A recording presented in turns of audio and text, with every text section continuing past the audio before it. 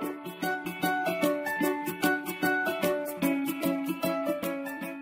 Merhaba arkadaşlar bu dersimizde sizlerle birlikte Mblog'da bir test oyunu yapacağız. Test başla tuşuyla testimiz başlayacak ve test başla tuşuna tıkladığımızda ekranımıza rastgele bir soru gelecek ve biz bunu cevapladığımızda belli bir puan kazanacağız ve testimizin diğer sorularına geçeceğiz. Öncelikle yeşil bayrağı tıklanıldığında karşımıza bu şekilde bir buton ve bir yazı geldi ve bir de dekor işlemi geldi. Teste başla diyorum. PowerPoint programı niçin kullanırız? Burada doğru cevap B şıkkı diyelim. Gördüğünüz gibi doğru cevap verdin dedi ve bizim cevabımızı hafızasına aldı. Aşağıdakilerden hangisi bir işletim sistemidir? Burada bilinçli bir şekilde yanlış cevap verelim ve A diyelim. A şıkkına tıkladığımızda gördüğünüz gibi yanlış cevap verdiniz dedi. Mblock'ta kodlama işlemlerini ve programlama mantığını öğrenelim ifadesi için hangisi söylenebilir? Tabii ki doğru. A diyelim ve doğru cevap verdin diyor. Microsoft Word programında neler yapılabilir? Profesyonel yazı yazma işlemleri yapılabilir. Metinlere resim, grafik, tablo ekleme işlemleri yapılabilir. C hepsi, C hepsi diyorum ve doğru cevap verdin diyor. Test sonucunda 4 sorudan 3 doğru cevap verdin. Başarın %75 diye testimizi bitirdi. Tekrar Go tuşuna tıkladığımızda ekranda gördüğünüz gibi yine teste başla tuşu geldi. Bu sefer farklı bir soruyla başlaması gerekiyor. Tekrar başla diyorum. Microsoft Word programında neler yapılabilir? Bakın daha demin ilk sorumuz farklıydı. Şimdi ise yine farklı bir şekilde geldi. Hepsi diyelim. PowerPoint programını ne için kullanırız? Grafik tasarım işlemleri, sunu hazırlama işlemleri, müzikleri düzenleme işlemleri. Burada C diyelim. Aşağıdakilerden hangisi bir işletim sistemidir? Tabii ki Pardus C diyelim yine. Mblock'ta kodlama işlemlerini ve programlama mantığını öğrenelim ifadesi için hangisi doğrudur? Örneğin hiçbiri diyelim yine C diyelim.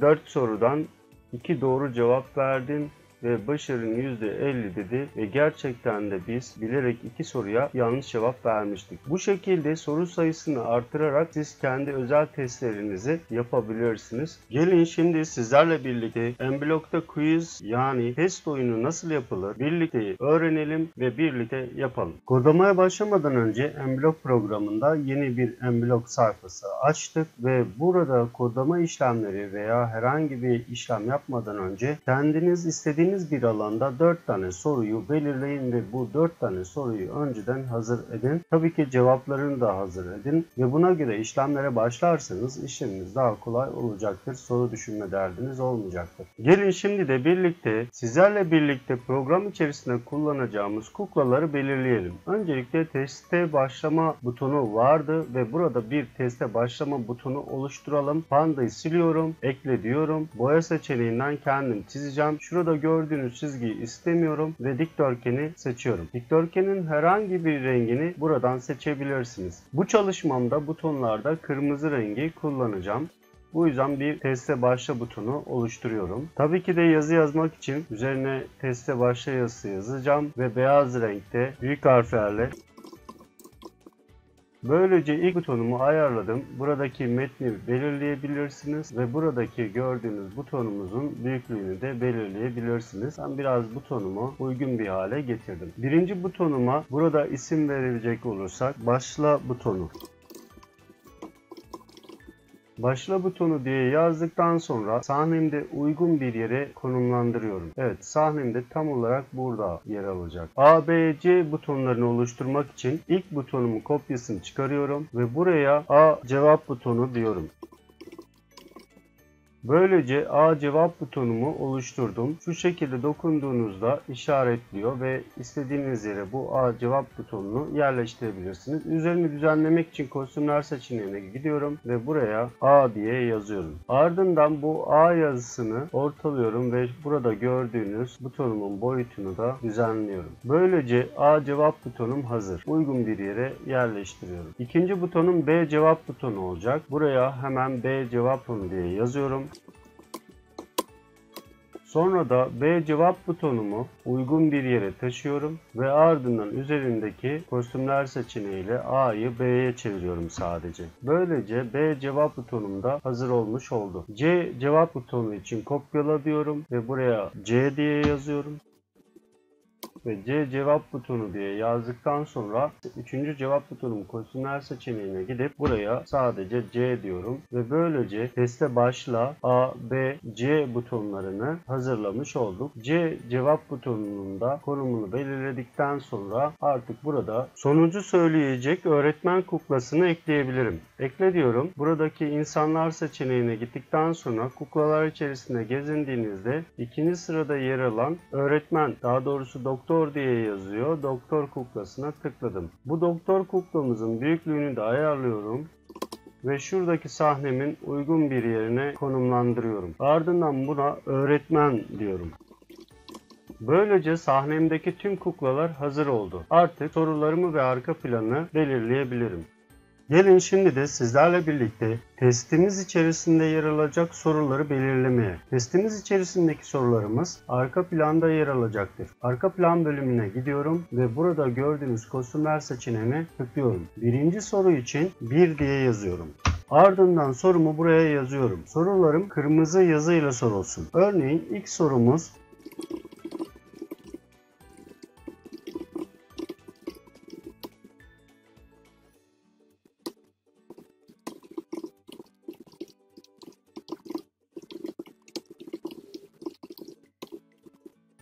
Blokta kodlama ve programlama mantığını öğrenirim ifadesiyle ilgili aşağıdakilerden hangisi söylenebilir olsun ve cevaplarımızı buraya yazalım.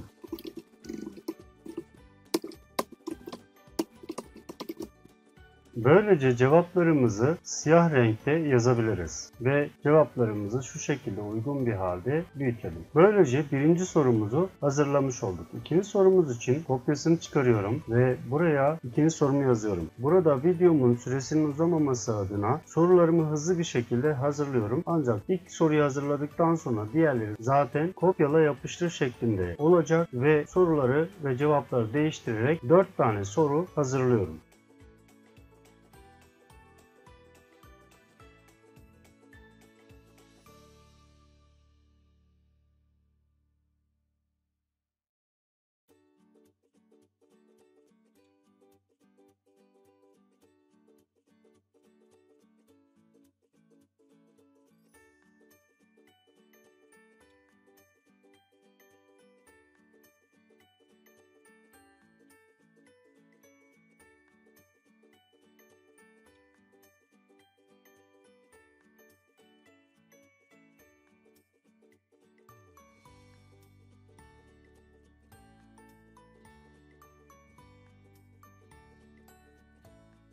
Böylece Mblock programında quiz içerisinde soracağımız soruları ve sırasını belirledik. Sorular Mblock programında programlama mantığını ve kodlama mantığını öğrenirim ifadesi doğru mudur? A cevabı burada doğrudur. PowerPoint programı ile ne yapılabilir? Müzik düzenlenir, sunu hazırlanır, resim çizilir demişiz. Burada sunu hazırlanır doğru cevaptır. Microsoft Word programında ne yapılabilir diye sormuşuz. Burada da yazıya tablo ekleme, yazıya resim ekleme hepsi burada hepsi oldu oldu. Ve dördüncü sorumuzda bu videoda Mblock programında quiz ve test hazırlamayı öğreniyorum. Yine burada da doğru cevap oldu. Böylece test içerisinde soracağımız soruları istediğimiz kadar arttırabiliriz. Kodlama işlemine geçmeden önce doğru cevap ve yanlış cevap sahnelerini de tasarlayalım. Bunun için kopyasını çıkar diyorum. 5 yerine yanlış diyorum ve buraya yanlış cevap verdiğinde kırmızı renkte yanlış cevap verdin diye yazalım.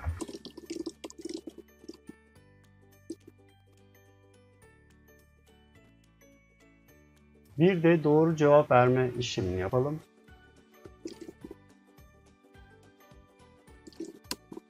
Son olarak oyunun bitti ve oyunun başlangıç sahnelerini hazırlayalım.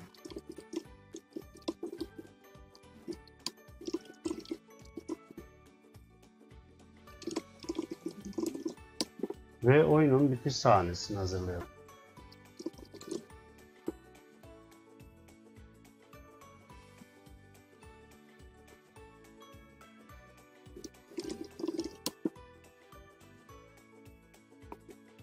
Böylece oyunun başlangıç, yanlış cevap verdin, doğru cevap verdin ve oyun bitti sahnelerini tasarladıktan sonra artık kodlama işlemlerine geçebiliriz. Burada önemli olan soruların ard arda düzgün bir şekilde ilk başta sıralanmasıdır. İlk 4 sorumuzu sıraladıktan sonra kodlama işlemine tekrar buralara bakacağız arkadaşlar. Şimdi kodlamaya geçelim. Kuklalar bölümüne gelip başla tuşunun kodlarını yazacağım. Başla butonunu seçtikten sonra olaylar seçeneğine gidiyorum. Bu kuklaya tıklanıldığında görün seçeneğini seçiyorum. Ardından en ön katmana getirsin. Bu kuklaya tıklanılınca test başladı haberi yayılacak ve gizlenecek. Gizlenme komutunu oluşturuyorum ve bir haber oluşturacağız. Test başladı haberi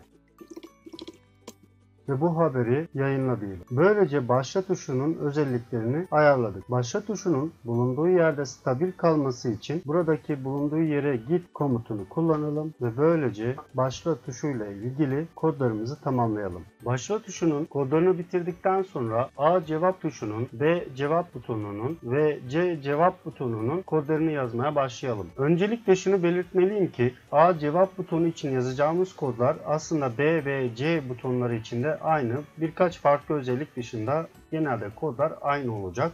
Bu yüzden A cevap butonuna geliyorum ve yeşil bayrağa tıklanıldığında gizlen diyorum. Sonra da A cevap butonuna tıklanıldığında hemen buradaki olaylar seçeneğine gidiyorum. Bu kuklaya tıklanıldığında diyorum ve bu kuklaya tıklanıldığında kullanıcı cevapları değişkenimizi A yapsın. Bir değişken oluşturalım. Değişkenler seçeneğine gidelim ve buraya kullanıcı cevapları diyelim.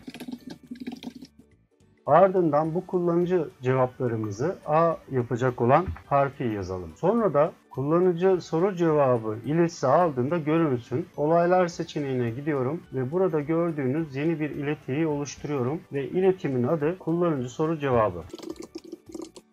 İletimi oluşturduktan sonra kullanıcı soru cevabı iletisini aldığında görün diyelim. Kullanıcı cevapladı dediğimizde de gizlensin. Bu yüzden olaylar seçeneğine gidiyorum. Bir haber daha oluşturuyorum. Kullanıcı cevapladı.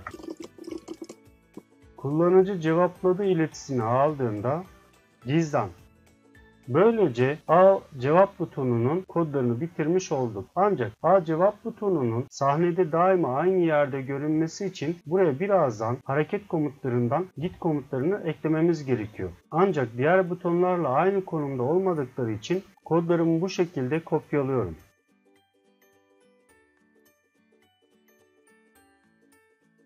A butonunda bu kodlar artık konuma git diyebiliriz. Sonra da B butonuna gidip komutlarımızı şu şekilde bir düzenleyelim. Burada kodlarımızdan bir tanesi eksik gelmiş. Hemen onu da kopyalayalım. Buradaki konumu dışarı atıyorum ve buraya B diyorum. Ardından buradaki konum git seçeneğini kullanabiliriz. Evet gördüğünüz gibi yeşil bayrağa tıklanıldığında gizlendi. Biz durdur diyelim ve buradan B butonuna tıklanıldığında kendi konumuna gitsin. Böylece B butonunun kodlarını da hazırlamış olduk. Şimdi C butonunun komutlarına geçelim. C butonu için buradaki cevap bölümüne C yazalım ve burada gördüğünüz X, Y konumuna git seçeneğini kullanalım. Ancak buradaki X, Y seçeneği çalıştır tuşuna bastığınızda gelebilir. Hemen ekleyelim bu bölümü. Böylece A, B ve C butonlarının kodlarını yazmış olduk. Şimdi de kodlarımıza devam edebilmek için değişkenlerimizi oluşturalım. Değişkenlerimizde bir değişken oluştur seçenekleri olduğu gibi bu çalışmamıza bir liste oluştur şeklinde de değişkenlerimizi tanımlayacağız. Bir liste içerisine hem soruların cevaplarını atacağız hem de gelen soruları rastgele seçtirmeye yarayan bir liste oluşturacağız. Bu yüzden buradaki bütün değişkenleri tamamladıktan sonra öğretmen kuklasının kodlarına geçeceğim. Bir değişken oluştur diyorum. Buradaki doğru sayısı değişkeni doğru sayısı skoru diye yazdım. Bir sonraki değişkenim seçilen rastgele soru olsun. Sonra da liste değişkenlerime geçiyorum. Liste değişkenlerinden oluştur diyorum. Ardından kullanıcı cevaplarını listele diyorum.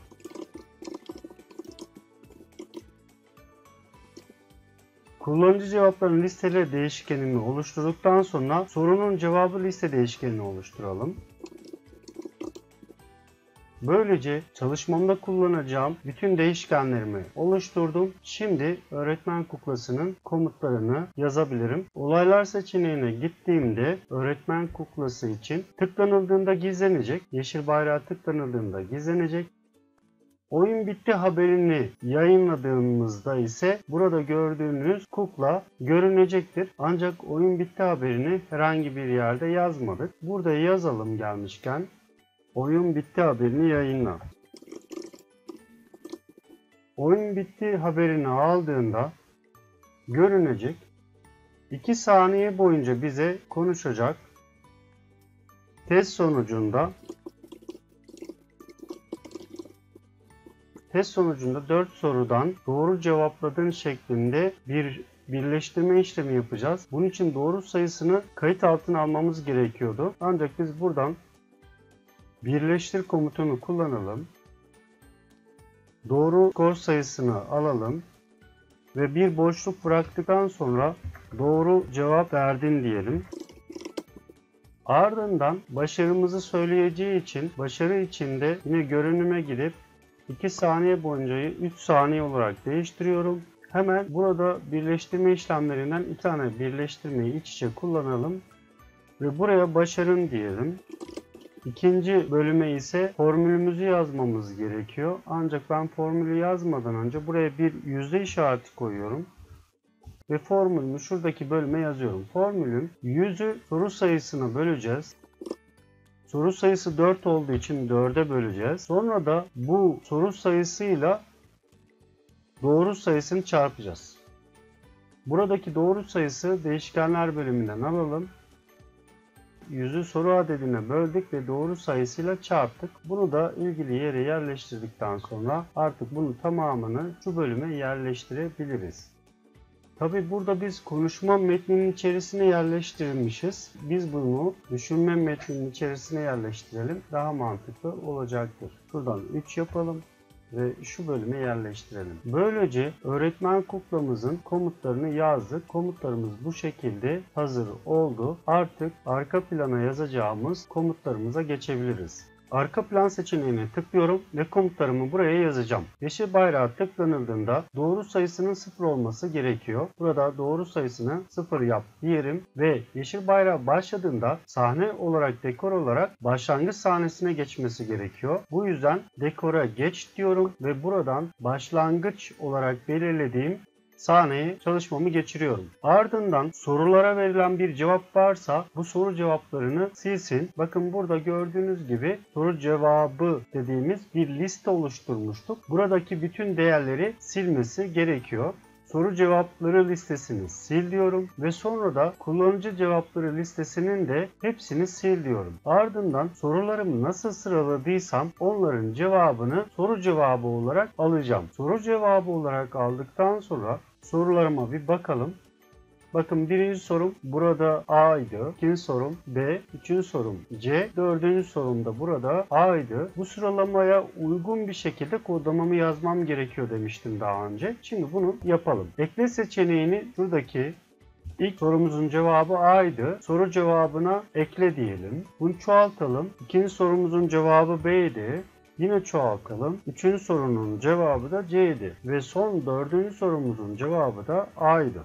Böylece yeşil bayrağı tıklanıldığındaki kodlarımızı bitirmiş olduk. Şimdi de test başladı işlemi yapıldığında yapılacak işlemleri kodlamaya geçebiliriz. Arka planda test başladı işlemlerine geçmeden önce sizlerle birlikte A butonunda şu gördüğünüz oyun bitti haberini yayınladığımda gizlen seçeneğini kullanın. Bunu şu şekilde yapabilirsiniz arkadaşlar. Şimdi çoğaltın şöyle şu öncekini ve şunu silip şuraya gizlen seçeneğini ekliyoruz ve şu kapıda oyun bitti haberini yayınladığımda aldığımda seçeneğini kullanıyorum. Bu şekilde A, B ve C tuşlarına oyun bitti haberini aldığımda butonların gizlenmesi gerektiğini eklememiz gerekiyor. Öğretmen kuklasına geldiğimizde burada ufak bir hatamız var. Bakın şurada merhaba D yerine 2 saniye boyunca doğru sayısını ver dedik ve yerini değiştirdik sadece. Böylece bu düzenlemeleri yaptıktan sonra şimdi arka plan bölümüne geçiyorum. Bakın sizden önce ben burada komutları hazırladım. Burada komutları nasıl hazırladığımla ilgili şimdi sıfırdan tekrar yapacağım. Ancak bu kodların hepsini eğer şu an durdurabiliyorsanız videoyu burada durdurun ve burada oyun başladığı anda yapılacak işlemlerle ilgili arka plana yazdığımız, yazacağımız test başladı komutları yer alıyor arkadaşlar. Bunları siz durdurduktan sonra kendiniz yavaş bir şekilde ekleyebilirsiniz. Ya da ben şimdi bunların hepsini sileceğim ve yeni baştan bu komutlarımı oluşturacağım. Eğer hazırsanız başlayalım. Bunu çöpe atıyorum. Siz bunların aynısını almış olmanız veya burada videoyu durdurup gördüğünüz bu işlemleri tek tek yazabilirsiniz ya da benimle beraber bu komutları oluşturabilirsiniz. Buradaki kodlarıma tekrar başladı iletisi haberi aldığında seçeneğini ekliyorum. Ve burada 4 defa tekrar etme işlemini çalışmama ekliyorum. Çünkü 4 tane sorum var. Ardından olana kadar tekrarla komutunu alıyorum ve değilse seçeneklerini bu bölüme ekliyorum. Kullanıcı listeleme içeriyor mu diyelim. Burada kullanıcı listeleme içeriyor mu diye bakın şu komutumuzu alalım. Ardından rastgele soru şeklinde bunu düzenleyelim. Bunu da buradaki değilin içerisine yerleştirdikten sonra şimdi seçilen rastgele soru seçeneğini alıp Ardından burada sorunun cevap uzunluğunu 1 ile 10 arasında bir sayı diyebiliriz. 1 ile 4 arasında bir sayı da diyebilirdik ama biz sorunun cevap uzunluğunu alacağız. Bu yüzden değişkenler bölümüne gidip şurada soru cevabı uzunluğu olarak düzenleyelim. Ardından yine listeleme bölümüne gidip buradaki ekle komutunu alalım ve rastgele seçilen soruyu eklesin. Ardından dekor bölümüne geçelim ve seçilen rastgele soruya göre dekorumuz da değişsin. Sonra da kullanıcı burada bir cevap vereceği için kullanıcı cevabı için bir boş değişken oluşturalım. Şurayı siliyorum. Sonra da soru cevabını yayınlasın arkadaşlar. Bu yüzden yayınla bölümüne geliyorum. Bakın şunu koyuyorum ve burada ne eklememiz gerekiyor? Kullanıcı soru cevabını eklememiz gerekiyor. Kullanıcı soru cevabını yayınladıktan sonra yine kullanıcı cevap verene kadar bekle anlamına gelen bir komut oluşturalım olana kadar bekle. Ne olana kadar bekle? İşte kullanıcı cevap verene kadar bekle diyoruz. Yine burada büyüktür 0 seçeneğini kullanalım bu işlem yapılana kadar bekle anlamına gelecek. Hızlı bir şekilde bu uzunluğu almamız gerekiyor. Kullanıcının cevabının uzunluğu olacağı için hemen kullanıcı cevapları uzunluğu seçeneğini alıyorum ve sıfırdan büyük olduğunda bu işlemi bekle diyelim ve kullanıcı burada bir cevap oluştursun. Kullanıcı cevap iletisini yayınlayalım.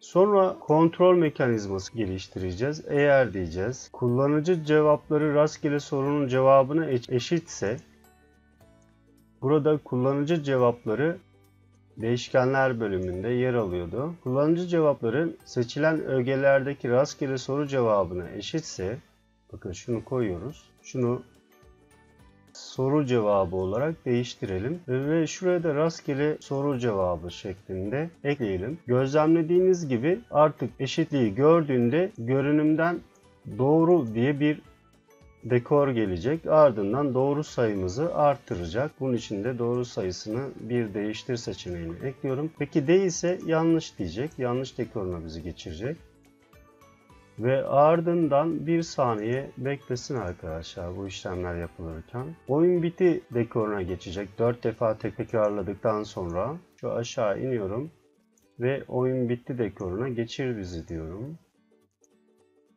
Ve oyun bitti haberini burası yayınlayacağı için olaylar bölümüne gelip oyun bittiği yayınla diyorum. Böylece kodlarımızı tamamladık. Çalıştıralım.